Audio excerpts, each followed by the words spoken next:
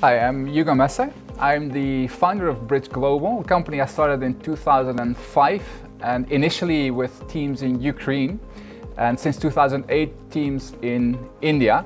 And our company has grown to about 100 engineers right now and uh, most of those people are in India. So when I started the company, I had the idea of helping Western companies, especially Dutch companies because I'm Dutch, to outsource their work to India. And this was around 2005 and nowadays, I think things have changed a lot because in that period, companies tried to outsource to India because they needed manpower, they needed people to develop their software. In the last decade, or more than a decade, people in India have become very educated, so they know how to work with Western companies. They've taken over a lot of knowledge from companies in the US and Europe who have developed software for the last few decades. And with that knowledge, they try to service customers right now. So what we're doing nowadays with Bridge is very different from what we did in 2008.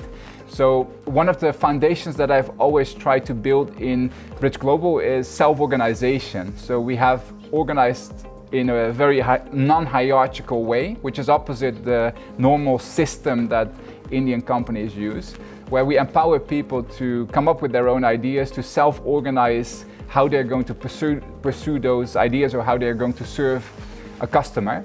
And this has resulted in a very strong culture that gives people productivity, they help to add ideas to the things that you ask them to do, and they have power to take decisions for you, which creates better results, in my opinion. So that's a short introduction from me as the founder of Bridge Global.